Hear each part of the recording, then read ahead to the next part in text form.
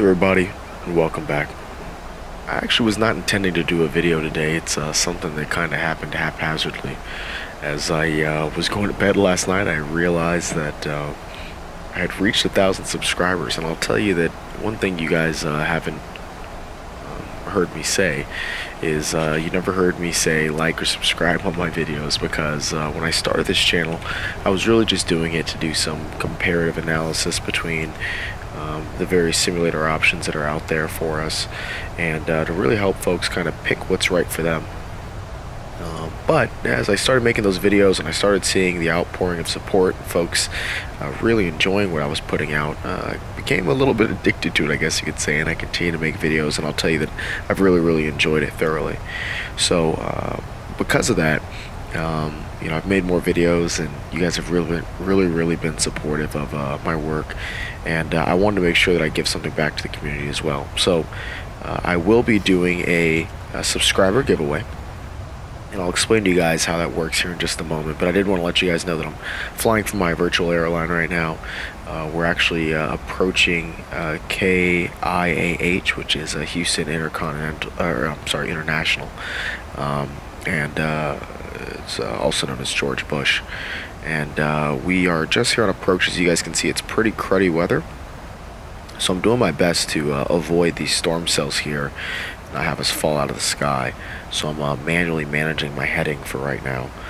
Um, and uh, you guys can see on the right display, uh, the weather's pretty nasty. Um, so I'm just trying to get around the storm cell. We're going to try to kind of creep uh, here into uh, this little corridor here.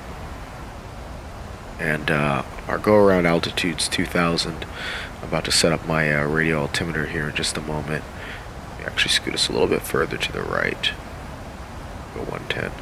And uh, let's set up our radio altimeter real quick. So for the uh, ILS-33 right approach, uh, our radio altimeter should be set to uh, 286. So let's set that now. Go on over. Uh, Alright. And we're going to uh, 286.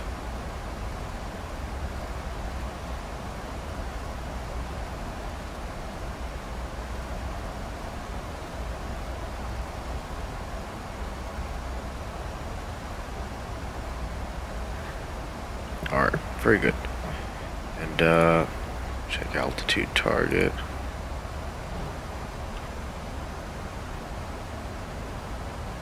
Two thousand, good.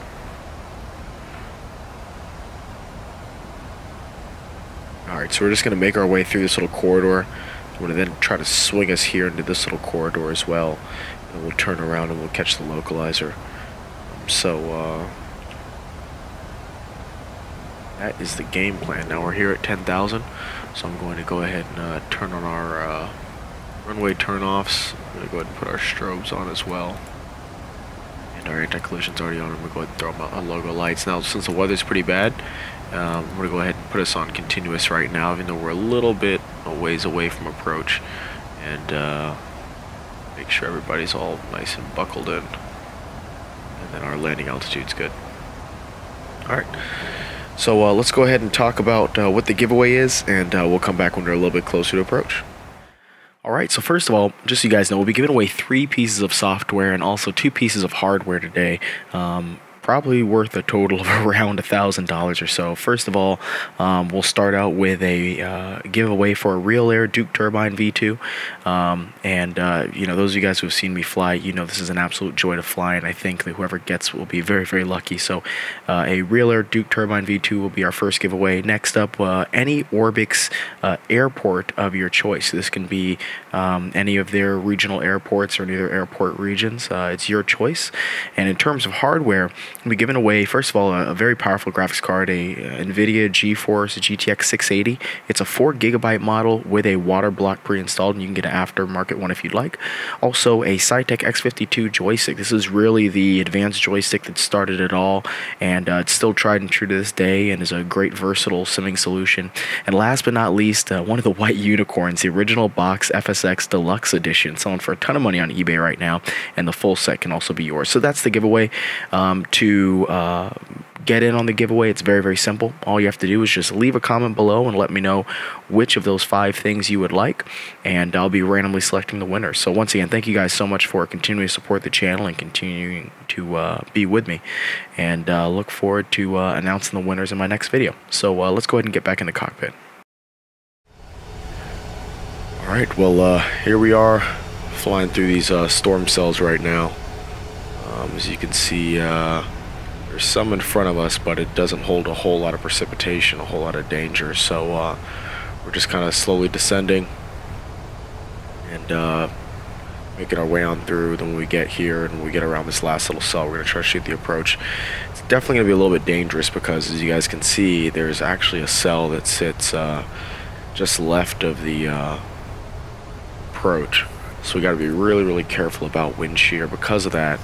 Um, going to be setting our approach speed uh, a little bit faster, so at 147 knots with flaps 30. Um, just to uh, make sure we have a little bit of momentum. Um, should it be that uh, we get hit with some wind shear, we can uh, relatively easily um, uh, try to power through it. Um, well, as easy, I guess, as uh, can be to deal with wind shear. It's actually really difficult. So uh, let's just make sure our uh, um, radios are all set up correctly. So we're uh, 329, 329 on the course. Then 111.9 uh, and 111.9, very good. And uh, you guys can see that lightning is really, really starting to kick in here. So I'm going to go ahead and turn us uh, to uh, 065 or 060. Traffic. Traffic. The heading. Uh, we'll bring us in a little bit further, 050. Just try to kind of help us sneak in there. I don't uh, go to the first officer seat. See if I can see that traffic.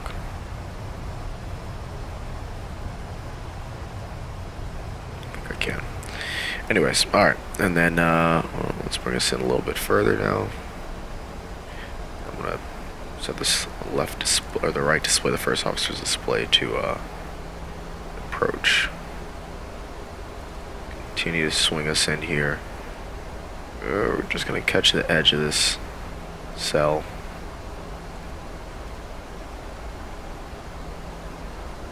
Alright, we're right below the glide slope, so I'm going to go ahead and uh, give us our first knot, or we'll go to flaps 5 right now actually. Just to help us kind of manage speed uh, without need of uh, spoilers. We'll set our auto brakes to uh, 2. Yeah, we actually ended up getting into a small cell here. We'll just uh, try to kind of power through it. We'll uh, slow our rate of descent so we can bleed off some speed. Especially through this little cell. Uh, we want to try to make it as easy as possible on us.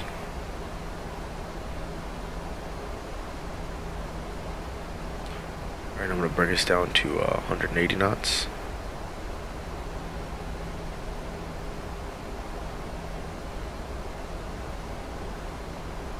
Uh,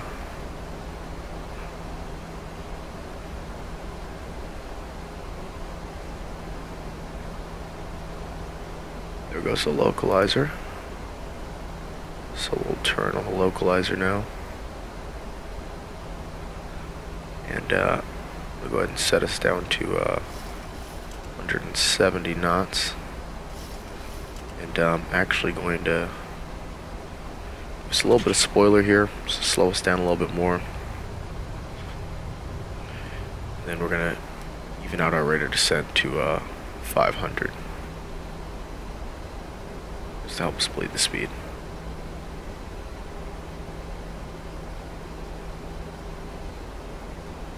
I'm actually to bring us back up to 180 just so we can try to get past the storm cell as quickly as possible.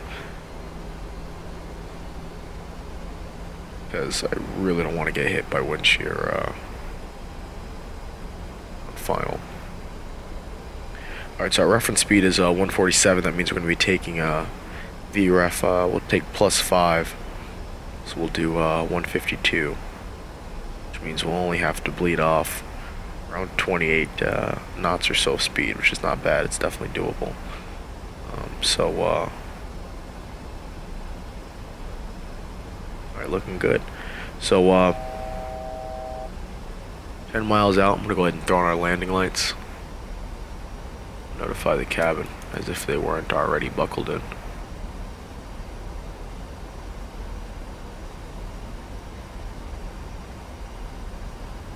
Uh there we go. And, uh, looks good to me.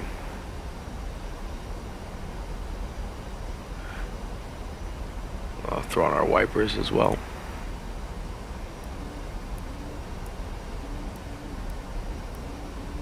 everything looks good. Just about to catch uh, the localizer here. and uh, I'm sorry, the glide slope. So we'll go ahead and put approach mode on now. And then uh, I'll bring us down to uh, 52.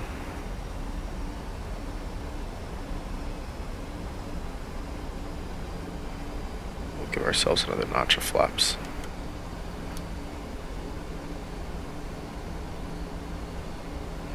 Alright, so we are on the glide slope now.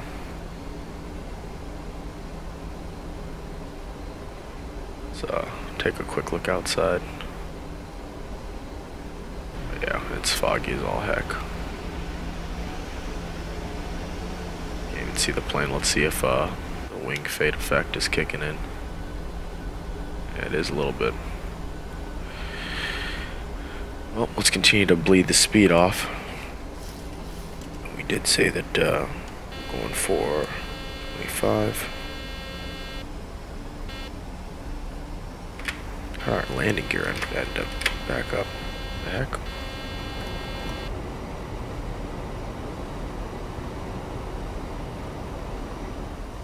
Brings down to 30. Alright, well, arm our uh, speed brake here.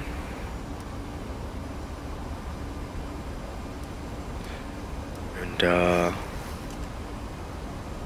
we have no visual contact with the runway at all. It's down to 147. Actually, we're going to manually take over uh, auto throttle here. We're coming a little bit hotter than we should be.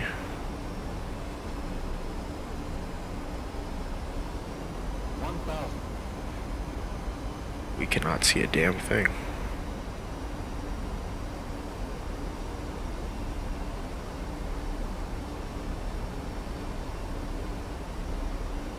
Oh, there we go.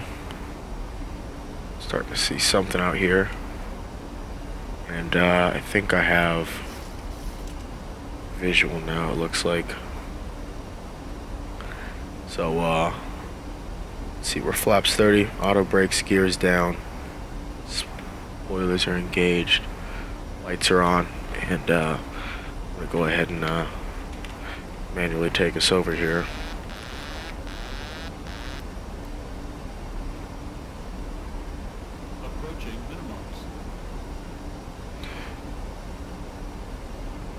Alright, and uh, landing. Stable, we look good. It's definitely not ideal conditions, but uh, it's definitely landable. Off these uh, now.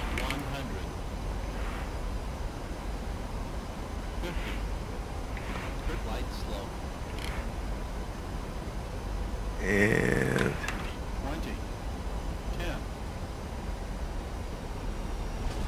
right on the center line. Got pushed off just a little bit, but uh, ended up correcting uh, pretty doggone well. So, alright, there's 60 knots. Let's go ahead and uh, take off uh, these auto brakes. And uh, we'll take this next turn off here. So, anyways, guys, you know, thank you so much. You know, it's only been about uh, month and a half, two months or so, and uh, you know, a thousand of you guys have decided to join me here in the sky. So I really appreciate it, and uh, look forward to uh, spending some more time with you guys here in the future. So everybody take care. Have safe flying. Uh, and I'll be doing another video this weekend without a doubt. Um, and uh, look forward to being with you all here very soon. So, everybody take care and uh, see you guys around.